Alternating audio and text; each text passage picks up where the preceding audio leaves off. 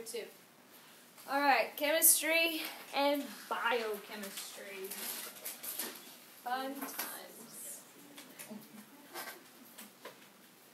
All right, so I, my my hope is that in this next section, that the first part of it is a review of high school for you, and we can go pretty quickly. So matter is anything that takes up space and has mass. And some of you are my age, and you watch Bill Nye, and we know that matter is anything that takes up space and has mass. But that's what matter is. There's three states of matter: solid, liquid, and gas. So I, everybody okay with that? Like you're like, oh, not comfortable? We're good. Next. Okay. In the human body, we have a lot of elements, but the four most uh, major elements that we find in the highest abundance or the most highest concentration are carbon, hydrogen, oxygen, and nitrogen. And we'll learn shortly why carbon. But carbon is probably the most um, abundant uh, element in our body. Of course, hydrogen and oxygen with water. Nitrogen is what we use for proteins and DNA. So, um, in, at the high school, once we get things going, because we memorize it, we rem- remember that as CHON. So those those four. Then we have what we call um, still they're still needed elements, but they're in in a much smaller amount that we need them. But if we're missing them, do we suffer? Yes. And if we have too much, we also suffer. So that's where that homeostatic thing comes into play. And the one I want to point out most of all here is calcium. Because calcium is going to be the element that we come back to over and over and over again because in the most random places you need calcium. And that's also why your skeletal system is so extremely important is because guess what it's really good at storing? Calcium. And when your body needs calcium like it does right now, if you don't have a diet high in calcium, guess where your body takes it from? Your bones. It will literally break your bones down to pull the calcium out and you'll have a weaker skeleton. And it'll continue to do that. So calcium will be one that we'll come to back to over and over again. We'll mention iron and iodine as we go, but it's mostly going to be calcium. Again, these are elements that you need, but you just don't need as much of them. Then we have the what we call trace elements. Trace elements we find in very, very small amounts, but we need them, and if we don't have them, we have a deficiency or we have an issue with them.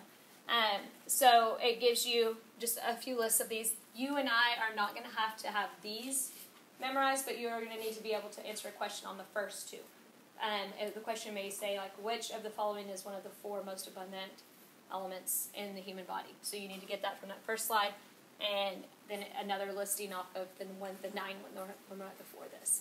Um, in here, you and I aren't even going to talk about much of the, deficits that we will see as a result, or what we will experience as a result of not having too many of these. We are going to reference them in their enzyme form because um, they're acting as coenzymes, but we'll get there eventually. Nonetheless, you need these. All right, so this next section is protons, neutrons, and electrons. I'm hoping that we don't have to spend a whole bunch of time on this. But um, back in the day when we taught chemistry, or you were in a chemistry class, the teacher like drew a circle, was like, this is an atom. And here in the center, you have protons that have what type of charge? Thank goodness. Okay? And then you have neutrons that have no charge. Very good. No charge, which is why they're called neutrons. And then on the outside orbits, you have electrons, yes, which have a negative charge. Okay, and if you didn't know that, that's why I drew that here, because some of you are like, oh, I get it, and some of you are like, I don't remember that. Okay, there are a few of these questions on your test, which is why I do need to go over this. But when you have an atom, your protons and neutrons are located in the nucleus of that atom, and this is this right here is not living. Okay, this is this is as at an element, like an atom and an element are terms that are interchangeable. Protons and neutrons are found in the uh, nucleus, and then electrons are out there on that orbit. There are specific numbers. I just used that to draw them for you. So we mentioned that neutrons have no charge, that protons have a positive charge. Okay? electrons are on the outside orbit and they carry a negative charge. The number of protons will always equal the number of electrons. The number of protons will always equal the number of electrons. Need to know that. Number of protons will always equal the number of electrons. Okay? So, for example, here in this helium atom, we have two protons. Guess how many electrons we have? Two, right? In the event that we lose those electrons, that atom becomes unbalanced and it becomes reactive. And we'll talk about that. We'll speak on that in just a moment. Um, all this is doing here is giving you different ways to depict the models. You don't have to know those. I'm just telling you why those look slightly different. Different ways of modeling Okay? Um, when you read a uh, periodic table of elements, that's what this slide is referencing. That each of those elements is given a number, and the number is their atomic number is always the number of protons that they have. And we'll talk about that on a future slide, but this is referencing how we identify elements. Elements are identified by the number of protons that they have. Number of protons. So, for example, hydrogen is the first element. It, ha- it has an atomic number of 1, so guess how many protons it has? 1. And the number of protons will always equal number of electrons. So how many electrons does it have? 1. Helium has an atomic number of 2. How many protons? How many electrons? 2. Okay? So you can see where I'm going with this. And did I mention the neutrons, though? Not yet okay? Because the number of neutrons can fluctuate. But in a balanced atom, or uh, yes, that's what I needed to say, atom, the number of protons will always equal the number of electrons. I have not said anything about neutrons yet. The atomic number, here it is defined in words, is the number of protons in the nucleus. We know that the number of protons will also give us the number of electrons. Okay, it does not say that here. But we learned that on a previous slide. The number of protons will always equal the number of electrons. Okay? So um, here it's showing you one way. It's talking about lithium, and it's giving you the atomic number down there. You might see it depicted where on a periodic table where I'm going to use carbon because that's the one that we're going to reference again. But it has the C, and it has a number on top, the atomic number, and then it will have a mass down here, the atomic mass. You'll have the exact same thing. It's just put on. It's it's flipped. The mass number is the total number of protons and neutrons. This is the first time we bring in neutrons. So, I'm going to use carbon since I have this one right here. Carbon has how many protons? Six. How many electrons does carbon have? How many neutrons does it have? It does have six. How do you know it has six? The atomic number, wait, this is the atomic mass, I apologize. The atomic mass is equal to the number of protons plus the number of neutrons. So if this number is 12, and I know that the number of protons is 6, I know that the number of neutrons I have is also 6. Okay? So using these two numbers here, you can calculate the number of each of the subatomic particles. So the number of protons will always equal the number of neutrons, so these two numbers will be equal. And the number of neutrons can be calculated by using this number. You take this number, subtract. Okay? And so atomic mass and atomic number, or mass number and atomic number. questions here or clarification? You will not have to calculate that.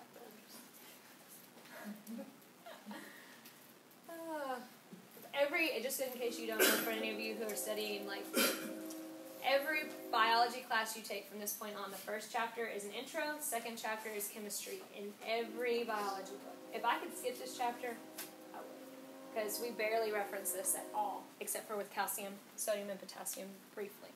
So the atomic number, mass number, and atomic weight are all put on the periodic table.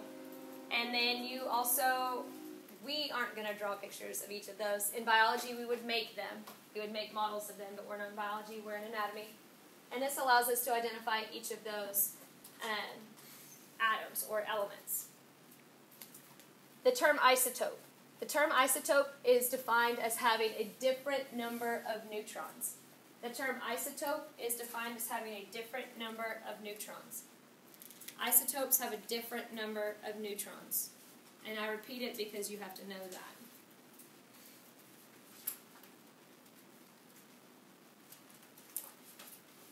Right here, I've given us two other versions of carbon. In the science world, we call this carbon 12 because it's got an atomic mass of 12. We call this carbon 13. Why? Atomic mass. Mass of 13. Yes. This is carbon 14. It's got an atomic mass of 14. Did the number of proteins change? Not proteins, protons. Sorry, I, I'm going to mess up a lot. You can either front me out or pretend like you didn't hear it. I'll figure it out later and make fun of myself. So I'm very comfortable making fun of myself um, and admitting that I make mistakes. Pretty consistent. Did the number of protons change? No, which is why I know this is still carbon. Because if the number of protons changed, it would be a totally different element. Okay? The number, the atomic mass changed, which means the number of neutrons changed. So right here it has six neutrons. Right here it has seven. Right here it has eight. These are considered isotopes because the number of neutrons changed. Why do I have to teach you this? Because if I continue to add neutrons, eventually this becomes radioactive. Guess what we use radioactive isotopes for? MRIs and imaging when you have to take certain dyes so that they can run an MRI on you or to see if, every, if there's access to certain areas. Those are all radioactive isotopes. So that's where I'm getting at here. I'm not just randomly teaching you chemistry because I like chemistry, because I don't like chemistry. Okay? But when you have an isotope, you change the number of neutrons. And as we continue to add neutrons, we make it radioactive. What we call a radioisotope. And we use those for MRIs, scanners, imagers, and things like that in order to diagnose our patients. Okay? So um, the atomic mass is the only, the atomic weight is the only thing that changes. The atomic number stays the same because, as you mentioned, if I change the atomic number, then I've changed the element altogether. All right? So we call it like carbon 12, carbon 13, carbon 14 because they're all carbons. They're just considered isotopes because they have a different number of neutrons. Okay? So here we've done it with hydrogen. Hydrogen, if you look at it on a periodic table of elements, hydrogen is 1 and 1. How many protons does hydrogen have? 1. How many electrons does it have? 1, because the number of protons will always equal the number of electrons. How many neutrons does it have? None. So this is what hydrogen looks like. Proton and an electron, and that's it. But when I have this setup, one proton, so I have hydrogen, one electron, so I have hydrogen, but now I have a neutron, I now have an isotope because I've changed the number of neutrons. Did I change the number of protons? No, because if I change the number of protons, I would change the element altogether. Everybody okay with that? Tell me. I No, I was just wondering, like, how do you add that? How do I ask that? you, no, how do you add neutrons? Oh, in a controlled environment in a laboratory setting because this all becomes radioactive and like in cancer research we use these radioactive isotopes to kill can- like when you have radiation therapies literally that's what we're using but the problem is radiation doesn't know the difference between healthy and sick so guess what it does kills them all yes so you have to do it in a controlled laboratory setting you can't just be like here mix it in the kitchen like type this is something that's extremely controlled, and um, there's a lot of protective mechanisms that are put into play to, of, of course, keep you safe. Not that you even care, but the lady who discovered this actually died of ovarian cancer because she caused an outrageous amount of mutations in herself, but she didn't realize she was hurting herself while she was saving others. But. So radioisotopes, they become um, radioactive as we continue to add more neutrons. And as we do this, they, they form these spontaneous reactions, little tiny explosions. And they're great because we can pick them up on a scanner, like an MRI. We can see, oh, there's a little explosion that just happened there. We know where this is, we can identify that area. Those people who are having fertility issues, they'll inject these dyes in order to follow whether or not the fallopian tubes are open, or if you're a male, to follow through the epididymis and the vas deferens to see that the sperm are capable of traveling the entire pathway. And we use those for diagnostic purposes, but we also use them for treatment purposes, like I was just mentioning. And we use them at, for for radio to, to do radiation therapy, but the problem is is that they damage everything. They can't distinguish between healthy and sick cells, so they kill both healthy and sick cells. So how do our patients feel when they undergo radiation? Terrible. What about when they undergo chemotherapy? I'm not using radiation, but I'm still using isotopes. They still feel sick. Because when you're going through that, you are killing cancer cells, and that's great, but at the exact same time, you're also killing perfectly healthy cells. But the goal is that we suffer for a short time for a long term gain. That would be the purpose behind all that. Okay? And of course, we, we want to make sure that we're taking a lot of protective measures to keep everyone who uses this or who is uh, surrounded by this daily from any type of side effect. I know that we have, there's a cancer unit right here at Baylor Scott and White. I don't know how many of you have been there, but those walls in that cancer unit are stupid thick. I think they're six feet thick, each wall, to make sure that the radiation doesn't get out to impact anybody who's working in the surrounding offices or any of the doctors or nurses that are caring for those patients. So, and, and those are just the walls that are surrounding that unit. Uh, they're that. I want to say it's six feet. It may be eight, but I'm pretty positive it's six. okay, right here, um, the difference between the term molecule and compound is what this slide is really focusing on. A molecule is when you have two atoms that are the same joined together. So a molecule is when you have two atoms that are the same that are joined together. Basically, I'm going to kind of change that in just a moment. So right here, like I have two hydrogens. Like we call this a hydrogen molecule. Okay? right here, I have 12 hydrogens. All right? So these hydrogens are all put together. So I do, I do have multiple of the same atom put together, but they're also combined with others. So a lot of times this can be considered a molecule. Most of the time we just use, we would reference this as a compound. A compound by definition is different types of atoms joined together. So the reason why you're going to see this one in both categories is because people will argue that, oh, well, this is 12 hydrogens, they're the same, bonded together. Okay, so technically these can both, if you are going to argue that, they can both be considered a molecule. A compound is when we have different types of atoms bonded together. I reference it as molecule, same atom, compound, different atoms. Does anyone have any idea why this compound right here is so significant?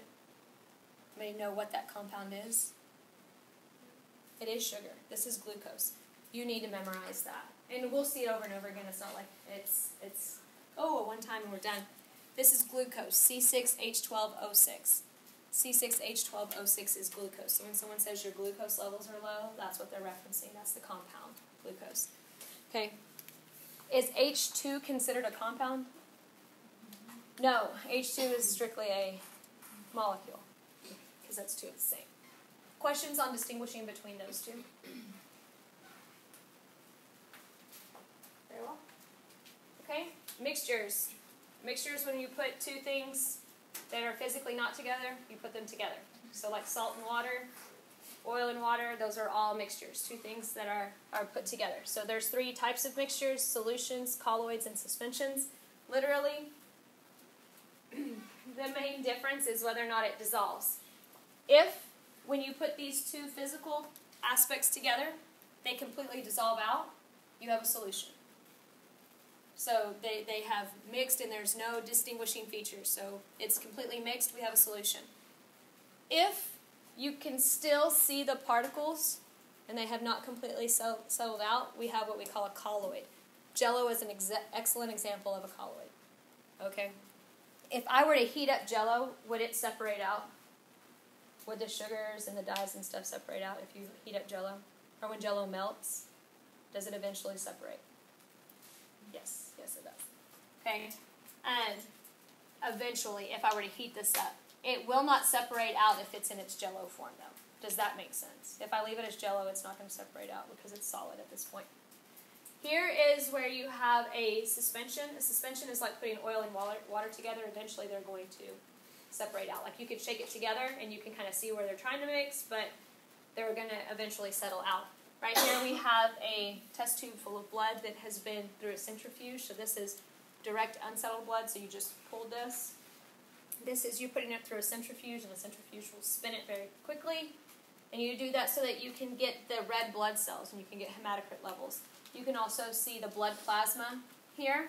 And then we have what we call a buffy coat or a buffy layer, which depending on where it settles, that's either the platelets or the white blood cells. And it, it just depends on how you're going to separate them out. But your blood is considered, considered a suspension. Blood is not a solution where everything is nicely mixed. If your blood sits, it will clot and it will pull out and separate itself out. So that's all you had to know about those is how to distinguish those. So solutions, colloids, and suspensions. Okay, and a mixture versus a compound. This is talking about whether or not there's chemical bonding. When salt and water dissolve, is there a chemical bond formed between salt water? Is that a chemical reaction? No, that's just a mixture. A compound is when there's any type of bonding that occurs. So, like when you have glucose, you have sugar, and you put that in, you start to mix other things together, then you start to form compounds, okay? Where there's chemical bonding. Mixtures where there's no chemical bonding, it is there's they're physically together and they can physically be separated. A compound is where they're chemically put together and they'll have to be chemically separated. And we'll learn about that in just a moment. Okay. Do you know the difference between the, the roots homo and hetero? What does homo mean? Same. Yes. Hetero means different, right? So homo would mean the same in origin, and hetero would mean different. Okay. And when atoms, so this is taking us back to our atoms, when atoms are going to bond, form chemical bonds, they use they bond using their electrons. This is going to be a throwback. I'm hoping someone has the right answer. Does anybody know how many electrons can be in that very first shell? Two. Yes. The number of electrons that can hit this first layer right here is two. And this is what we're going to end up calling the octet rule. Okay, just so you know. What about each consecutive layer after that? It's actually called an orbit, not a layer. So I apologize for just calling it that if you're a chemist and you were offended by what I just said. I'll get emails, don't think I won't. How many electrons can be in each concentric orbit after that? If the rule is octet, it is eight. Yes. So the first one is two, and each additional level can house eight. And I realize I put that on the wrong one. I'm just showing you. Okay, so it's two on the first one and eight in each additional orbit or valence shell. So that's what it says here. It's the rule of eight. Do you think an atom says to itself, I want to be full or I want to be empty? Which one do you think? It wants to be full. And until it's full, it is completely unbalanced and it's really reactive. But as soon as it's full, guess what it does? Just chills out. Okay? So if. Let me show you a picture. Hoping there's a picture on the next slide. Not. Okay, here. Here is hydrogen. I know this is hydrogen because it has one proton, and as a result, it also has one electron. But how many does it want in this outer shell? Two. This only has one shell, so it wants two. So is this happy or not happy? Not happy. That's why hydrogen bonds to everything. Hydrogen likes oxygen because it can H2. Oh, it'll bond to it. Okay? This is a lonely atom. If I'm going to personify him, he is wanting to hook up with somebody to be balanced. Okay? Right here, it tells you that there are six electrons in this outer shell. Happy or unhappy? Unhappy. He's looking for someone with two. And look, hydrogen has one. So if I take on two hydrogens, I'll have two. So what they'll end up eventually doing is sharing these electrons and forming water because H2 O, yeah, O. All right, what about this guy right here? He's got one. Very reactive. Yes. He's like, what? But is it easier for him to find seven or get rid of the one? Get rid of the one, and he'll eventually give that to potassium, sodium, potassium, or sodium chloride, and they'll they'll share those. Or he'll actually will end up calling it an ionic bond. He'll give it away to um, chlorine, and that can make salt, so sodium chloride. Carbon. What do you notice about carbon? How many does it have? Four. So it's not full, but it it doesn't know whether it should take on four or just get rid of four. That's why carbon is such a flexible element, and I will always go back to car- carbon because everything we do is based on carbon. Okay? Every aspect of you contains carbon. Yeah, that was my rhetorical question. Yes, yes. Every bit of you, and we'll get there. So, this is what it says here. The valent, if the valence shell is not full, so if the outer orbit is not full, it tends to gain, lose, or share electrons so that it become, can become stable. This is you in your not married life versus married life. You want to be stable. Long term. I'm not saying that you need to, if you are not ready to get married, you need to get married. So don't listen to me if I don't know you. Okay? Because um, you're probably like, what is she talking about? I think I'm done with this. Let me make sure. Molecular formulas. I'll bring an eraser the next time. Molecular formulas. So C6H12O6. What's that again? Glucose. So a molecular formula, when you hear that term, you're like, oh my gosh, a molecular formula. Literally, all that means is this it tells you the number of molecules that are located in that compound. So that's the molecular formula for that. Molecular formula. Okay? Now, when we talk about uh, reactants versus products, when we start talking about chemical equations, I always teach my students that anytime a reaction is going to take place, there's going to be an arrow. And anything that is on the left side of the arrow is a reactant. Reactants go in.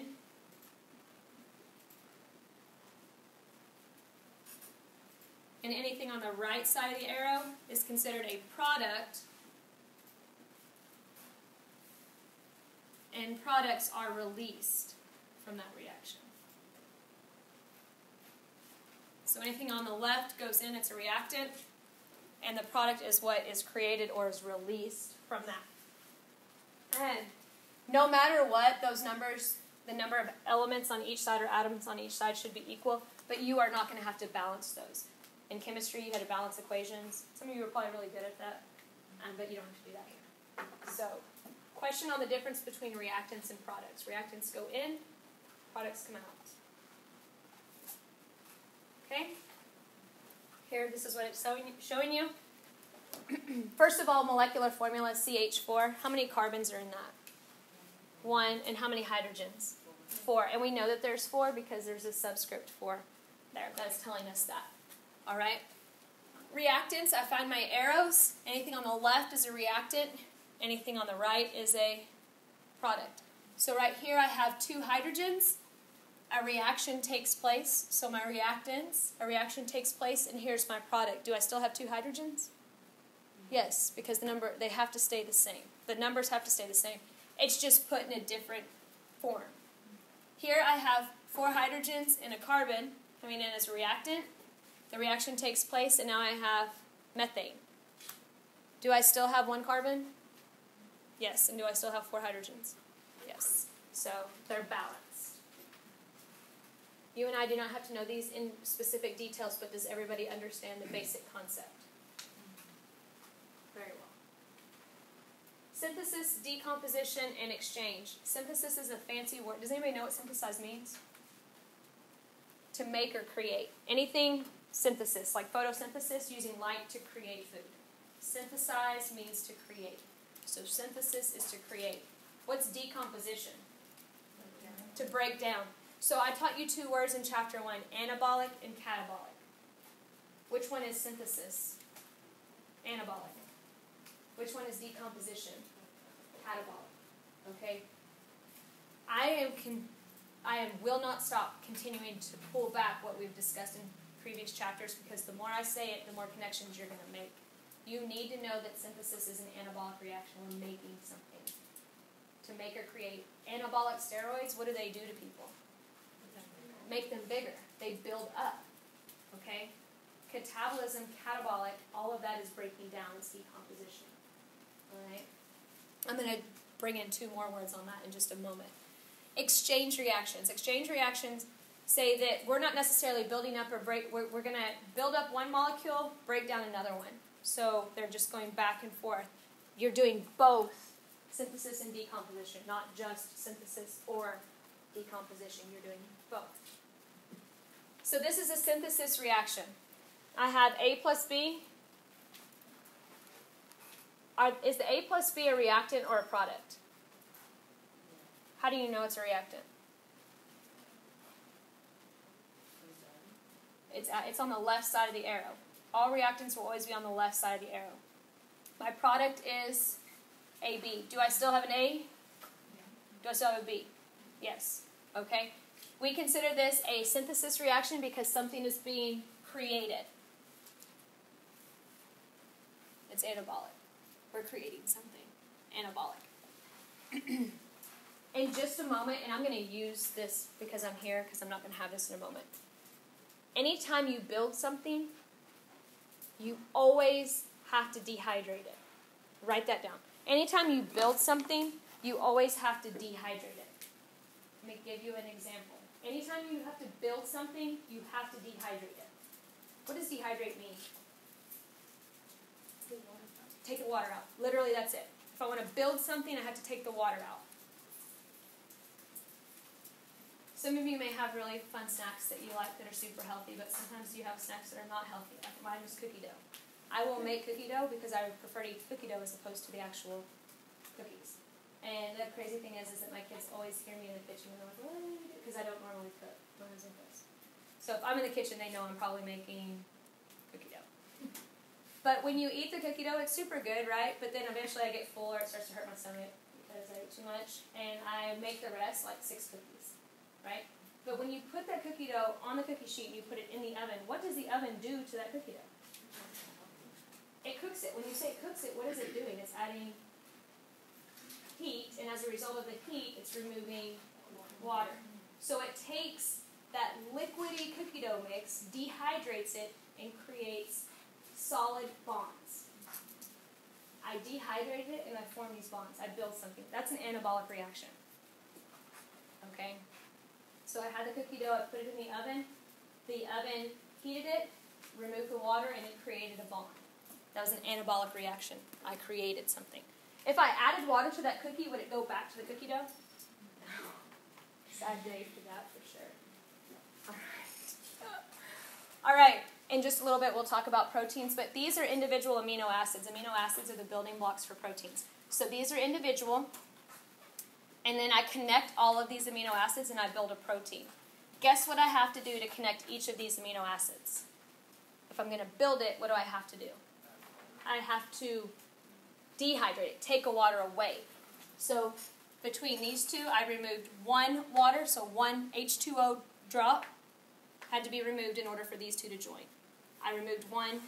So for every single bond you want to form, you have to remove one water. Okay? It's going to come up later in the notes. I'm just using these pictures so that I'm not using just a word in a moment. Okay? So for each of these, I have to remove one water. So if I have 10 bonds, how many waters did I remove? 10. Okay? It's a one to one. decomposition. What's my reactant here? AB. What's my product? A plus B. And that's because it's on the right side of that arrow. So I've clearly taken something that was built, put together, and I've separated it. Okay? So I decomposed it. I broke those bonds. This is a catabolic reaction.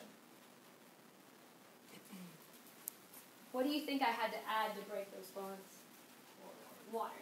If I take the water away, I create a bond. But if I add a drop of water, I dissolve that bond. That is exactly right. We're going to end up calling that hydrolysis. So it's hydrolysis. And I'm going to show you that word in a moment. But adding water breaks things down. Another case in point, I like red velvet cake, but as soon as I, I don't like the dough, just so you know. But I'll make it, and my kids will smell it. Freaking kids. And as soon as it gets out of the oven, I quickly put the cream cheese icing on it, and I cut out the middle piece and I hide the middle piece. Because that's the piece that I want. I know you don't have four kids if you don't hide your food. Okay. I may have problems. Anyways, I'll eat and when it cools down. I'll eat that. But the kids, they'll smell it. They'll be like, "Oh my gosh, there's cake," and they'll eat it. But they don't put it on a plate. I know your kids are perfect and they cut it out and put it on a plate and eat it with a fork at the table. But my kids just get a fork out of the drawer and eat it out of the pan. Uh huh. And then when it's all gone, they wash and dry the dish. No, they don't. They just leave it there. And then my husband comes in and he's mad because the dishes aren't done. And I'm like, I didn't eat that cake. the kids did that. I didn't do that. And he's like, is nobody going to do the dishes? And I'm like, oh my gosh, I guess I'll do the dishes. So I'll take that pan, because I'll let it sit overnight, because I didn't leave it there. My kids need to put it up, right? I'm trying to be a good parent and teach them to do stuff, but I'm also being lazy at the same time. I know you never do stuff like that. Anyways, when I finally decided to, to wash it, you can't just start scrubbing it because it sat there overnight and it dehydrated, right? So it stuck to the side. So if I immediately start scrubbing it, that's going to be a lot of work.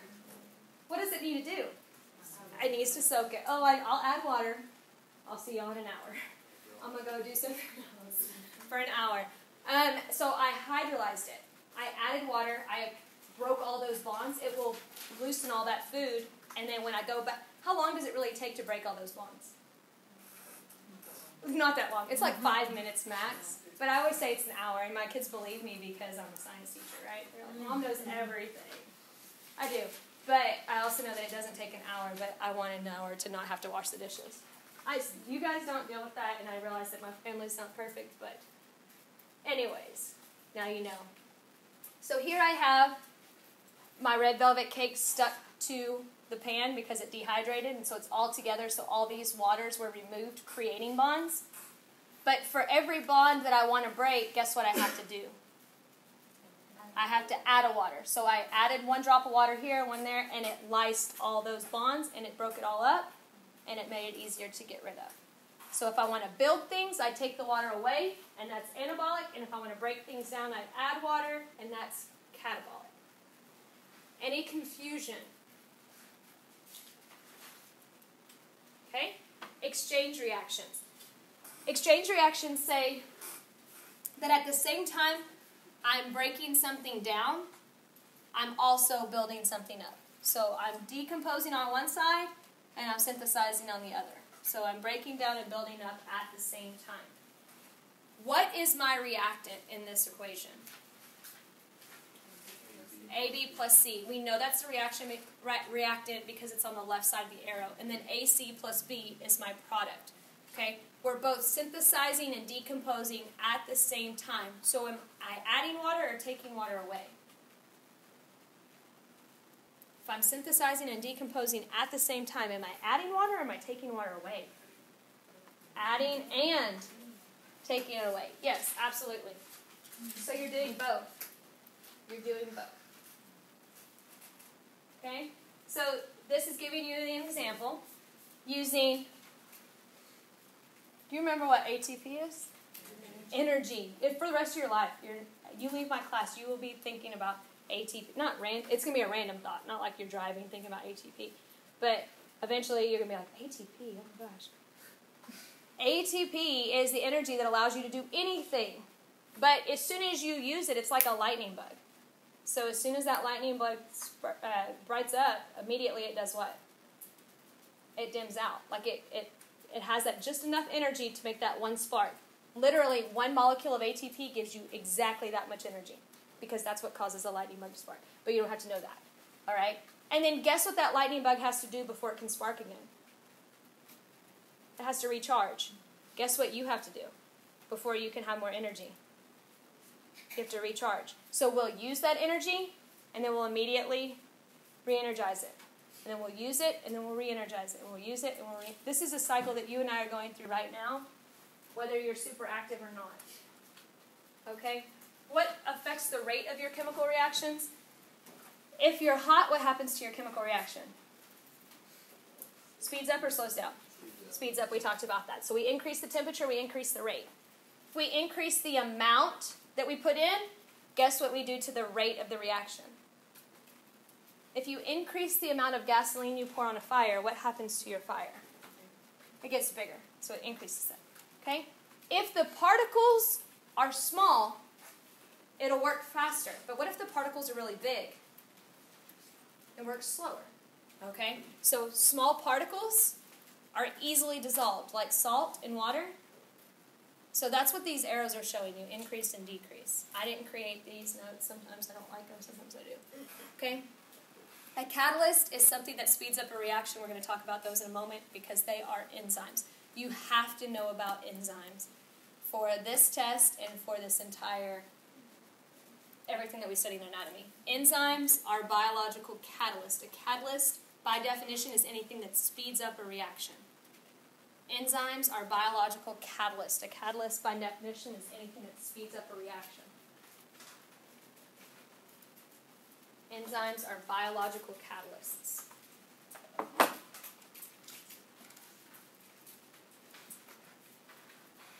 All right, biochemistry. So that was it on chemistry. Now, biochemistry. What, how is biochemistry different than regular chemistry? Yep. Bio just means life. Okay, so biochemistry is going to pertain to everything that we study that's living, and we can divide that into organic and inorganic. What's the difference between organic and inorganic?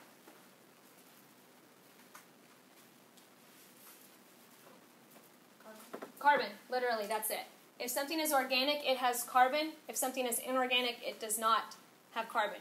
You will hear most younger people say, and I'm not, I'm definitely not old for sure, but a lot of times when you hear organic, because it's so um, instilled in our society right now, if it says organic, they're like, it's healthy. If it's organic, it's healthy. And literally, by definition, organic just means it has carbon. Okay, so if something is organic, it has carbon. Something is inorganic, guess what it doesn't have? Fantastic.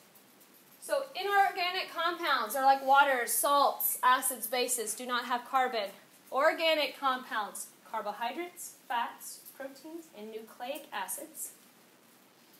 And they have carbon. What's does anybody know what a carbohydrate is? What is it?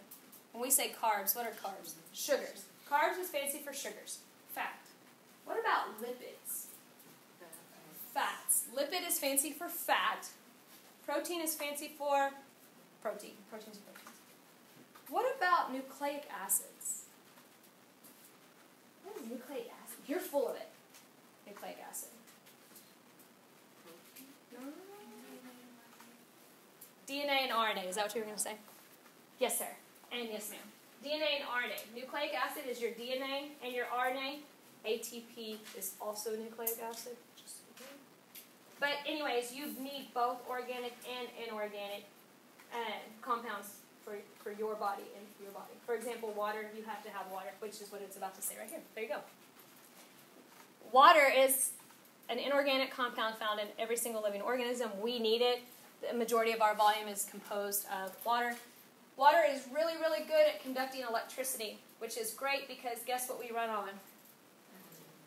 Electricity electricity. So it conducts electricity. When we tell our, uh, when we say wiggle our toe, it gets there really quickly if we're adequately hydrated. If you're dehydrated, guess what doesn't happen? It doesn't happen. Acids versus bases. I had a horrible chemistry teacher, which is probably why I hate chemistry. But if my chemistry teacher would have taught me that if you have an acid, it just has a whole bunch of hydrogens. Period. That's all that means. If you have a base, you have a whole bunch of hydroxides. Period. Guess what happens if you so if you have an equal number of hydrogens as hydroxides? Does anybody know what this makes?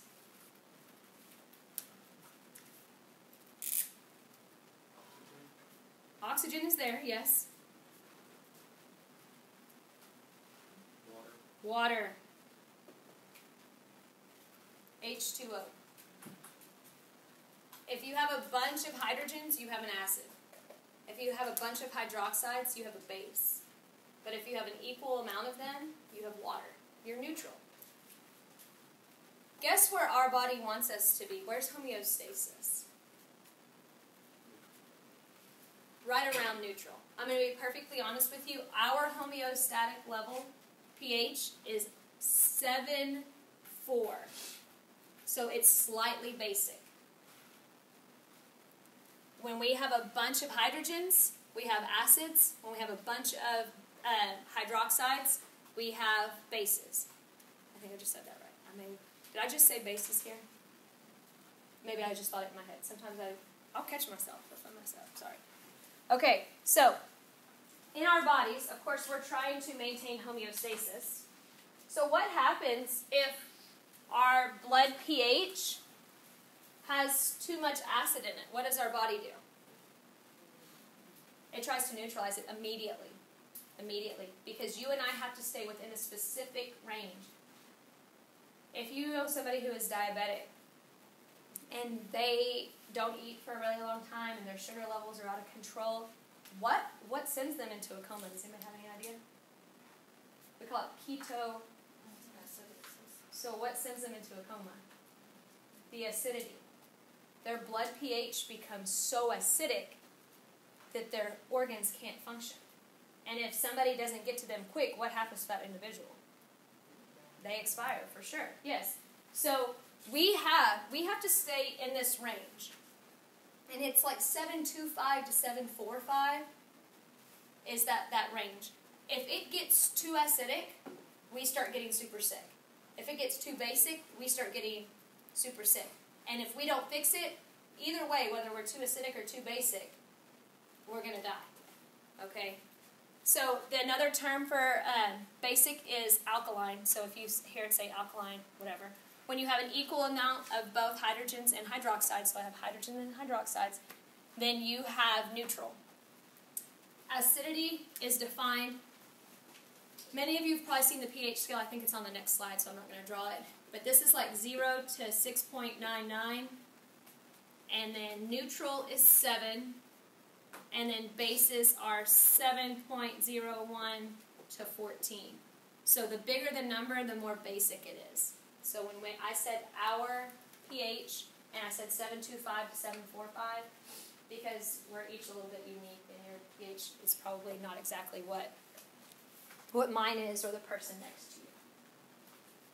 Okay, so here is the pH scale. This was in your books all through growing up, and in your book now too. Surprise! All right, here's neutral. The deal is when you're looking at these pH scales is you need to figure out which direction it's it's oriented. A lot of them go from acidic to basic, but this one clearly goes from acidic to it goes in the reverse direction. Okay? Fine neutral, the smaller numbers are acidic, the larger numbers are basic. And it also uh, correlates individual household items so that you understand what's acidic and what's basic. Does your body, if you get if you become acidic, does your body require you to fix it, or does it try to fix it itself? It will fix it itself. Yes, you carbon dioxide is kept in your body because it will make a bicarbonate buffer, and it will take care of you to an extent. If you If you don't take care of yourself, well then negative feedback will be overwhelmed and it will cause positive feedback and then you will expire. We talked about that in chapter 1. Your body will try to fix it first. It always does. You're, you are your body's main focus. What do you think neutralization is? Don't overthink it. Bless you. Neutralization. What do you think I'm trying to reach? Water, the pH of zero. So I'm either going to add, if it's too basic, I'm going to add acids, and if it's too acidic, I'm going to add bases. That's what's going to happen. So I'm just trying to neutralize it. I'm trying to get it to a balanced pH, something around 7. Why is pH such a big deal for us? There are two things that will shut you down very quickly temperature and pH. Those are the two things that will wipe you out very quickly. Your temperature goes outside, the highest that you can maintain a temperature for an extended period of time and minimize damage is 104. When you hit 105 or higher and it's extended for four to five hours, you're causing irreversible damage. With your blood pH, we have the same thing. You can go outside of our homeostatic range slightly for a short time, but for an extended time, that's inconsistent with life. The two things that will knock you off real quick will be pH or temperature. So a slight change in pH can be fatal. This can include anything that um, it could be an injection, or it could be that you haven't eaten in a really long time. Anything that manipulates your pH just a little bit will cause problems. However, as I mentioned, your body will try to bring yourself back to homeostasis. Your kidneys, they'll try to retain water or salts and help with that. Your lungs, that carbon dioxide I was talking about, the bicarbonate buffers, these both or, uh, help us to create chemical buffers that will allow for our blood pH to maintain homeostasis. Two things that will damage you, and the way they damage you, look at this. It says it, I should probably read my slides. pH change interferes with cell function. If the cell isn't functioning right, what has happened to it? If its function has changed, its structure has changed pH and temperature are the two things that can change the structure. You change the structure, you change its function. Two interdependent terms. Cannot be separated. You have four organic compounds. Well, you have a lot of organic compounds, but the four that you and I talk about that we get from our food or outside sources are carbohydrates, lipids, proteins, and nucleic acids. We already said that carbohydrates are sugars, lipids are fats, proteins are proteins, and nucleic acids are DNA and RNA and ATP. The difference between the term poly and mono. What does mono mean? One. Mono means one, and poly means many. Question. So if I have two singles, two monomers, and I want to join them together, what can I do? If I have two separate and I want to join them together, I can take out water. Is this anabolic or catabolic? It's anabolic because I had two separate and I built them together. So it's anabolic. Is that synthesis or decomposition? Synthesis. We just used three different words talking about the exact same thing. Do you understand what I'm saying and why terminology is such a big deal? We dehydrated it, which caused a synthesis reaction, which overall is anabolic. Dehydration, synthesis, and anabolic, all together the same. So if I have two monomers and I want to bring them together, I dehydrate them. That's a synthesis reaction. It's anabolic. We call it dehydration synthesis. Why do we call it dehydration synthesis? Just dissect the word. Science, uh, after we get through this, I'm taking out water and I'm creating something. My goal is after chapter two, we will start dissecting words. Like I'll give you a word and you'll look at it and go? And I'll say, just figure out what it means. If you can take that word and break it up, you can figure out exactly what it means. And even when your doctors are talking to you, you'll by the end of this course, you'll go in and listen to them speak and you'll know what they're talking about. I guarantee it. Well, if you study. If You just, even maybe if you passively listen, you might get some of it. But dehydration synthesis, I'm just dehydrating it, taking water out in order to create something. That's all that means right there. Okay, so what if I have a whole lot that are joined together and I want to break them up? I'm going to add water. It's catabolic, and this is a decomposition reaction. Does that make sense? So monomers are singles. I join monomers to make polymers, and polymers are a lot, and I break polymers apart to make monomers. So poly is many, mono is one. Hydrolysis reaction. Hydrolysis. What's hydro? Water. Lysis means to cut or lyse or separate. Okay, so hydrolysis. Questions or clarification right here? Okay, this is showing you exactly what I just depicted using my fingers. I have two monomers that are separate. Are those reactants or products? How do you know they're reactants? Left side of the arrow, bottom line, non negotiable. Have reactants, and it has the H2O highlighted here. And then what is this arrow telling you that it's doing? You cannot you cannot understand how important arrows are. So many people will answer this question wrong. The arrow is showing you the water is leaving. Okay? I feel like it's very straightforward, but you will not you, or hopefully but you will still get it wrong. Okay? And I'll be like, "What?" It's clear. We took the water out and we created a bond. Here, I have something that's already bonded. Guess what I'm doing? Adding water, and as a result, it's breaking apart. Okay? Here I have exchange reactions where I can take water out and create a molecule, or I can add water and break it apart. Okay, so it can go either way. Questions on how to read that? Very well. Okay, so now the four biomolecules. Carbohydrates are fancy for sugars. Sugars are when they're super small, starches are when they're really big. So anything that says sugars or starches, that's a carb. Okay? All carbohydrates have the three of those four main elements carbon, hydrogen, and oxygen. What does mono mean again? One. Saccharide is just sugar. So monosaccharide means one sugar, disaccharide means two, and poly means many. Okay, when you eat Snickers, the chocolate is a monosaccharide, but the peanuts are polysaccharides. They're really, really big. That's why Snickers are such a diverse food because it gives you quick energy, but also long term energy because of the different components that it includes. Okay, what is what do we use carbohydrates for? What do we use sugars for? Energy. Energy, literally.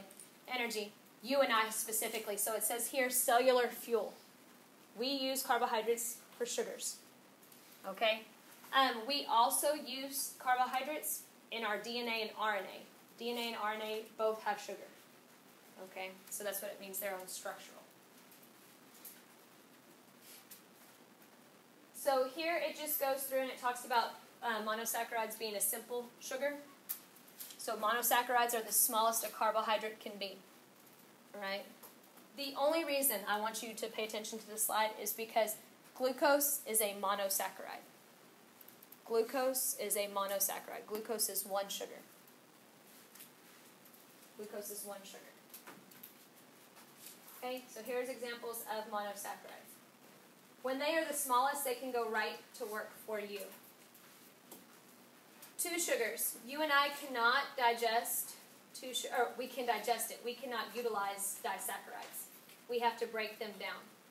Real quick question some of you talk about that you have high protein diets to others, not to me because I don't have conversations with you yet. Um, but when you have a high protein diet, let's say you eat a whole lot of chicken. When you eat that chicken, is that chicken protein going to go to work in your body right then? No, because what you just ate was chicken protein.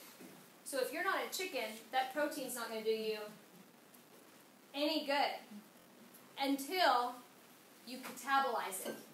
You have to take all that chicken protein that's really big, and you have to break it down into individual monomers for a protein. So you have to cat- catabolize it, and then when it's all super small, then you can use it to make just the proteins, or the proteins that you need for yourself. So when you eat food, unless you get it in its most simple form, it will not go to work in you right then. You have to give it time. But if you just take glucose straight, it'll give you energy right then. That's why, like sodas and stuff like that, give people energy really quickly because it's simple sugars. But what if you eat a really big sugar like pasta? What does that do to you? After you go eat at Olive Garden, what do you want to do? Go to sleep, yeah, because it filled you up, but it didn't give you energy because you're full now. You want to go to sleep. Okay. It wouldn't be the same if you ate something that was just full of simple sugars. Okay? So, disaccharides, because they're complex, we have to take a while to break them down before we can get them to go to work for us. So, lactose, sucrose, and maltose are all examples of disaccharides. So, is two sugars. And I'm going to kind of go through that fast because you don't necessarily have to know all that. Polysaccharides means you have a very large amount of sugar. Because you have a lot of sugar, it takes a really long time to build, break down. If you're an athlete of any type, your coaches didn't give you pastas before you had a game. Why? It slow you down. When did you eat pasta? The night before. Call it carb loading. We would feed you a whole bunch of high carbohydrate foods the night before. And then that way it gave your body a chance to break it all down so the next day you would have all this ready energy and fuel to go throughout. So that was the science behind that. We call it carb loading. Your coaches may or may not have called it that, but that's exactly what it is. Okay, so polysaccharide, because I have each of these complex bonds, for each bond, what did I have to do? I had to take a water out. Anytime there's a bond, we took a water out. I'm just throwing back on you. Uh, if, if I keep going over it, it'll stick in your head. You'll be talking to your dog about this later on. Hmm. Right, next biomolecule, lipids. And the reason why I teach you carbs first is because carbohydrates are the first thing that you burn for energy. So when you go to work out, the very first thing, when you wake up in the morning, the very first thing you're burning is carbohydrates. Once you've burned all your ready source of carbohydrates, then you burn your fats, your lipids, which is why we teach those second. The problem with this is, is that people will go work out for like 10 or 15 minutes. They'll do a brisk walk, and they'll be like, oh, I just worked off all the fat that I just ate. No, you didn't. No, you didn't. In fact, you didn't work off any fat. And you don't really get to fat until about 30 minutes into your workout. Okay? And you don't have to be doing a super high intensity workout, but you have to be doing something active for longer than 5 or 10 minutes in order to get to the fats because you have to burn all your carbs first. There's a lot of different types of fats. The fats that we talk about the being that cause you to get fat that I was just referencing right there, what we call neutral fats or triglycerides. Phospholipids are a fat that you can never get rid of because these are found in your cell membranes, and I'm going to teach you that on Thursday. Steroids, these are hormones, um, like testosterone, estrogens, progesterone, so you can't get rid of those either. And eicosanoids or eicosanoids, also, you cannot get rid of those. So these are ones you can't get rid of. These are the ones that usually bothersome um, that you try to manipulate. Also, something to point out: the four element or of the four elements, the main elements, there's only three found in lipids: carbohydrates, not carbohydrates, carbon, hydrogen, and oxygen. Okay, carbon, hydrogen, and oxygen. No nitrogen in carbs or fats. What do we use lipids for? The main reason we use fats is for energy. Main reason. Okay, but if I if my body has a choice to use fats or sugar for energy, which one's it going to use? Sugar, because it's easier. Okay, it's going to have to work to get energy out of fat, but it will when it runs out of sugars. Then it will go for the fats. We also use fat for insulation and protection, so to maintain uh, body heat and homeostasis, as well as to protect our viscera. What's viscera? Organs. Fantastic. This is what a fat looks like. I'd say they look like flags. I didn't tell you, but carbohydrates look like little stop signs, like they're pentagons or hexagons. Fats look like flags, and they're just all oily and flaggy. saturated versus unsaturated. Which is the good one? Unsaturated. Heart healthies are your unsaturated. The difference between saturated and unsaturated in a quick reference. Saturated are solid at room temperature. Because they're solid at room temperature, guess what they do in your vessels? They stick. Because they're solid at room temperature, they stick in your blood vessels. Unsaturated fats are liquid at room temperature. So whenever they're in your vessels, they don't get stuck, they just flow through. So when you cook with like olive oils, corn oils, and stuff like that, those are unsaturated fats. But when you cook with Crisco, unsaturated. Okay? So these are the ones that your body likes because they're healthy. Your body likes the way these taste, but they're not so healthy for you. Okay? Um, the difference in structure is in an unsaturated fat, instead of being linear, it's kinked. You don't have to know that for this class, but it's a structural difference. Okay? There's the linear versus kinked. Steroids. Steroids are um, like your hormones, like I mentioned, testosterone, estrogens, progesterones. It also includes your cholesterols. Um, you use cholesterol. When people say cholesterol, immediately they think like bad fats and stuff. My cholesterol level is high because that's you're not supposed to have a lot of it. But you do need cholesterol for your cells to maintain their shape and um, their integrity. So cholesterol is something that you do need. You just don't need a whole lot of it. Okay. So steroids are a type of lipid. Okay, just the structure of a steroid. Eicosanoids or eicosanoids. Okay, these are different types of fats, but the, and because they're different types of fats, they they serve different types of roles. So their structure is their structure determines their function. But one of the main roles that we have here is that of a prostaglandin, which works in blood clotting. Okay, so do I want to get rid of eicosanoids or eicosanoids? No, because I need them in order for my blood to clot. Okay, it helps us control blood pressure. It mentions that there. Inflammation, and we'll talk about the inflammatory response um, next week, not this week. Labor contractions, oxytocin, all of that. They're all um, carried out by different hormones that are derived from fatty acids. Other fats, um, well, we have fat soluble vitamins. Vitamins themselves are not fats.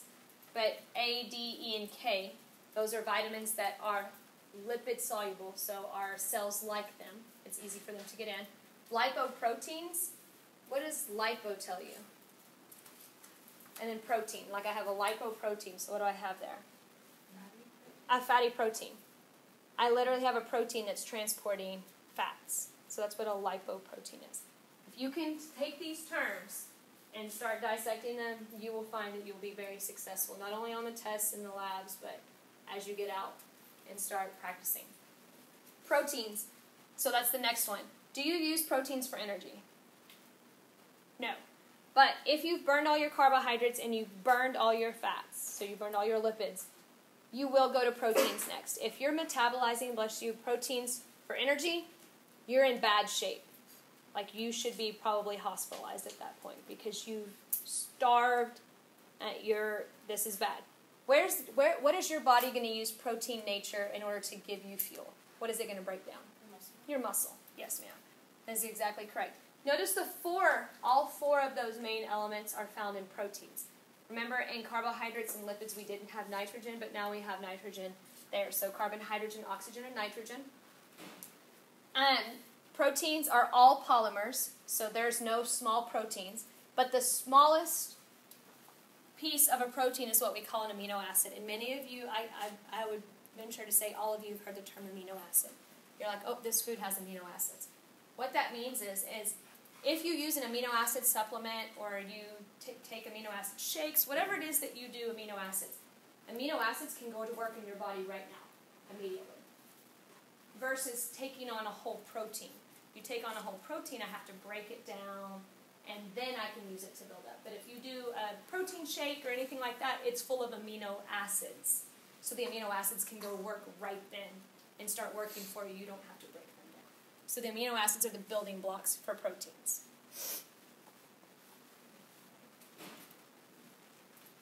Okay, so just different. You only have 20 amino acids. There's only 20 amino acids on Earth. So there's only 20 different amino acids that can make all of your proteins. So this is just a few of them. Okay? Ooh, I'm just a teaching moment. Reactants or products? Reactants they're on the left side. If I read it, the top reaction. Is this dehydration or hydrolysis? Dehydration because I'm removing water. As a result, what type of reaction is this if I've removed water? Syn- is synthesis, or you could even use the word synthetic, will also work as well. Anabolic or catabolic? Anabolic. It built up. Okay, now I have this structure here, and I'm going to read the bottom reaction. Hydrolysis or dehydration? Hydrolysis, because I'm adding water, and as a result, catabolic reaction or decomposition. Yes, I've broken that down. Okay? The term denaturing or protein denaturation means I have changed its shape. If I change a protein shape, guess what I have done?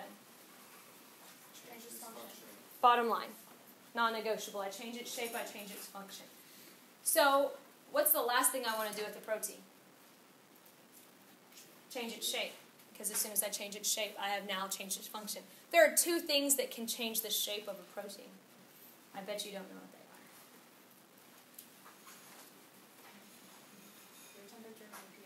T- temperature and pH. Temperature and pH. The only two things that can change the shape. Those change the shape, they change the function. Okay? So you're all of that this is all stuff we've learned today that we've applied in multiple places. These are non-negotiables consistent across the board. Change the shape, change the function, temperature and pH will change your shape immediately and then change that function as a result. If it's something really short term, like a short term fever, usually the damage is reversible. But what happens if it's long term? It creates re- irreversible damage, and then in the event that you do survive, there will be complications. And it uses, and I don't like that it uses this, but like cooking an egg. Once you've cooked an egg, can you uncook it? No, but eggs are very high in protein, and that's what you're using it for. But, but you don't cook your brain. Anyways, whatever. Can't untoast the toast. Thanks, thanks, Tyler. You can't untoast the toast. Words of wisdom. Yeah, I learned that off uh, KERA. I, I, I love me some PBS kids. K E R A. All right, enzymes. Enzymes are proteins that speed up reactions. I'm going to say that like four times. Enzymes are proteins that speed up reactions. Enzymes are proteins that speed up reactions. One more time. Enzymes are proteins that speed up reactions. I used the term catalyst earlier, and I said catalyst is anything that really speeds up things. Enzymes, anytime you see the word enzyme, it immediately tells you it's a protein. Immediately. So when the question says, you have this enzyme, what biomolecule is it? You have four choices carbohydrates, lipids, proteins, or nucleic acids.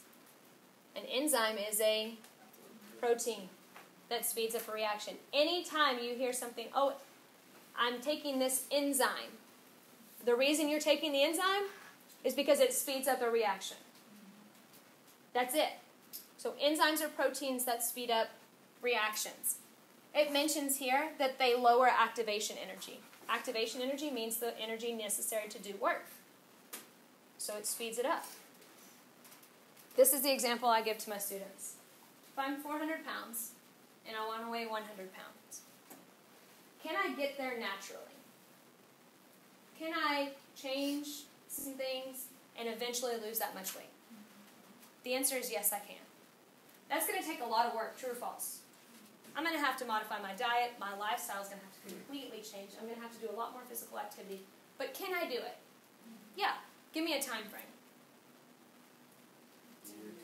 I would say 18, 24 months, yes. And that would be trying to do it healthy, the right way.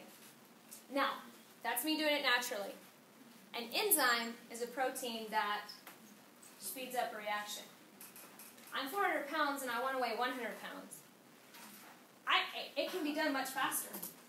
True or false? you okay? Yeah, you can just chop it off. Which I don't know how that that would work. But and uh, just real quick, I do not know of a diet pill that does this or anything like that. So don't be like, hey, what pill were you talking about? Because it's not a thing. I'm just using it as an example. Okay. But let's say that I decided to take a diet pill, and after a week of taking one diet pill each day, I've lost five pounds. I'm like, oh, heck yeah. So what do I do the next week? You're right. You take two. And by the end of the second week, I've lost 10 pounds. So 15 pounds in two weeks. I'm like, yeah. What do I do that third week? I, I go, I'm going to go for three. Okay, I'm losing this weight. I like it. I'm still eating my full pound of brownies, my whole pizza to myself, my red velvet cake, and my cookie dough. I'm doing all that. And I'm losing this weight with these pills. So the third week, I take three pills each day, but I still only lose 10 pounds. So now I'm boggled because I took two pills and lost 10 pounds, but I took three pills and also just lost 10 pounds. There is a point when your body says, I can't go any faster. Okay? So you reach what we call a saturation limit. But what did that diet pill ultimately do to me? Did it help me lose my weight? Will I lose it much faster? Yes, and I can continue to do that and lose those 10 pounds each, each week using those two pills. What it did was it lowered the amount of work I had to put into it.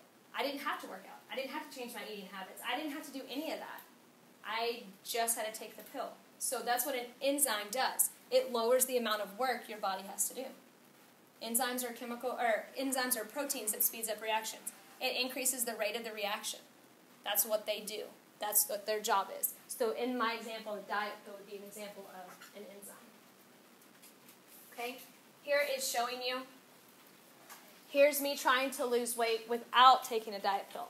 There's a whole lot of work required in order to get to where I want to be. Here's me using the diet pill. How much work did I have to do? Not nearly as much, and I still got the exact same result. Yes. And here, the only thing I want to point out on this is that enzymes usually end in these three letters A S E. So, for example, if you are lactose intolerant, it's because you're lacking lactase. And lactase is the enzyme that breaks down lactose. So when you take in lactose, because you can't break it down, it stays in your guts longer, or your intestines, actually your colon, and you fart a lot because you can't break it down. It's a fact. That's what happens. But if you know you're lactose intolerant, you can take these little chewable things that are lactase, and you add that enzyme, and guess what it does to that lactose when you eat it? It breaks it down, and then guess what you don't do? Fart. Okay? So you do that because you don't want to be embarrassed when you're out with all your friends. You take that enzyme. Enzymes are very specific, so lactose is broken down by lactase. Maltase breaks down maltose. You and I are going to study acetylcholinesterase and that breaks down acetylcholine. And it sounds really big right now, but as soon as you see it, you'll be like, oh, not a big deal. Let's talk about it in public or to your dog or to somebody who will listen to you. Because even when I start talking, my husband just ignores me. He calls me a Poindexter. I may or may not be a nerd. What you have here, reactants or products? How do you know the reactants? They're on the left side of the arrow. You see what I did there? If you can memorize that, you can't go wrong my reactants. Right here, you can tell that they're two separated. They're going to fit right here into this enzyme. This enzyme is going to hug them. We call it enzyme hug or squeeze. Look what it's done. it dehydrated it. It removed the water. So as a result, by dehydrating it, what have I done? I've bonded something. Is that synthesis or decomposition? It's synthesis, and I know that it's synthesis because it created something. It would be decomposition if it broke it down. Is this anabolic or catabolic? Anabolic, anabolic because it built something. Okay? Could a square shaped reactant fit in there? No. So that's what I. Let me make this parallel right quick. Lactose will fit into lactase because they're specific. But if I have maltose right here that's a square shaped, it won't work with, with lactase. Okay, all your enzymes are very specific. So that shape is, is specific in there, and it doesn't say that, but it is. Okay, the last biomolecule, nucleic acids. Nucleic acids are DNA and RNA. When you say DNA out loud, like everybody's like, oh, it's DNA. But DNA is technically the acronym for deoxyribonucleic acid. What does deoxy make you think? Deoxy. Take it's, it's literally taking one off. It has one less oxygen. So deoxy, and then ribose is a sugar. So it's ribose missing one oxygen. Deoxyribose nucleic acid. So DNA is deoxyribonucleic acid. It's ribose minus one oxygen. It's ribose minus one oxygen. Deoxyribonucleic acid. RNA is ribonucleic acid. Did I take away an oxygen there? It's just ribose and as a nucleic acid. So that's the sugar. So here's the sugar, the carbohydrate that's found in RNA. Deoxyribose is the uh, sugar found in DNA. You'll also notice that they contain both carbon, oxygen, hydrogen, nitrogen, and we're bringing in phosphorus. DNA is the biggest molecule in your body. Biggest. In one skin cell, I have six and a half feet of DNA. In just one skin cell. And you're the same. So every single one of your skin cells has six and a half feet of DNA. All of your heart cells have six and a half feet of DNA. So you have a ton of DNA. It's a very large molecule. The smallest that DNA can be is a nucleotide, and you do have to know this. A nucleotide has three parts. A nucleotide has three parts it has a sugar, a phosphate, and a nitrogen base. A sugar, a phosphate, and a nitrogen base. A nucleotide has three parts a sugar, a phosphate, and a nitrogen base. A sugar, a phosphate, and a nitrogen base.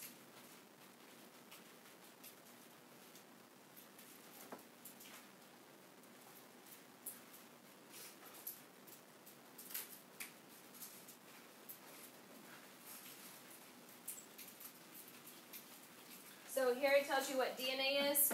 Whenever you say DNA to most people, um, they're like, oh, I know what DNA is. It's a twisted ladder. They call it a double helix, double stranded helix. They can tell you what it looks like, but they don't tell they can't tell you what it does. So, of course, I'm not going to go over what it looks like because I feel like you should already know that because you see a lot of pictures of DNA. Let me point out, and this may be a throwback for some of you if you haven't gone to biology in a while. But everywhere there's an A, there will be a T. Everywhere there's a C, there will be a G. So A and T are always together, C and G are always together. I just memorized that. My students came up with a little thing, but I forgot what it was. Something about car garage. I forgot what A and T was. But A, T will always be together, C and G will always be together. Um, but what do we use DNA for? DNA provides instructions for protein synthesis. Provides instructions for protein synthesis. Can anyone tell me what protein synthesis is? Bonding. Making proteins. Yes. Bonding, creating. Synthesis is making proteins. Literally, what do you use your DNA for? To make proteins. A lot of people can't tell you that. They're like, oh yeah, that's in my DNA. That's why I have blue eyes. That's why I have brown hair. Yeah, for real. But your blue eyes are made of blue-eyed proteins, or else you would have not blue eyes. Okay. So, a lot of, like I said, a lot of people see the pictures of DNA and they're like, oh, that's DNA. I know that. But we use DNA to make proteins. RNA, we use RNA as a small copy of DNA. The difference between DNA and RNA is RNA is not two strands, it is just one strand. It's a single strand, so we don't call it a double helix. We just say it's a single stranded molecule. And the letters for RNA are A and U, and still C and G. C and G stays the same no matter what. DNA is AT, RNA is AU. Okay? I'm trying to point out exactly what you should know for the test. I- I think we're good on that. We don't have to know, you don't have to know the specifics of protein synthesis. The last nucleic acid is ATP. ATP stands for adenosine triphosphate. Triphosphate tells you it has how many phosphates? Three. ATP is the chemical energy in your body. Okay? Chemical energy of your body. As soon as you use it, you immediately start to recharge it. Whatever you make today, whatever you use today, your body will make sure you have that same amount tomorrow as long as you're doing the same thing. But if you do something outside of your regular activities, your body won't tell you to stop, but you'll feel really tired. When you go to bed tonight, it'll say, like, say for example, today you never ran a mile. After class today, you're like, I'm going to start running a mile. First day of class, I'm going to run a mile every day. How are you going to feel after you run that mile? Pretty tired. And you're probably going to go to sleep, and your body's going to say, Oh my God, Jessica got crazy. She ran a mile. Tonight, we need to give her just a little bit more ATP, but not as much as she used because we don't think she's going to run a mile again. Okay? And a lot of times that's what happens. It's too you get too sore, it made you uncomfortable, so you don't do it again. But if I continue to run a mile every day for seven days, my body would make exactly enough ATP, and after seven days, I wouldn't be tired after running that mile. Then I would make it a little bit longer. So that's why people, when they work out, you start slow and you continue to build up that ATP, and those longer, more difficult workouts aren't so difficult over time. All right, I do believe, I'm hoping that that's the last slide. This is the structure of ATP. Okay, triphosphate. One, two, three. Okay. Okay. Questions or clarifications? All right. Happy first day, and I apologize for not being that professor.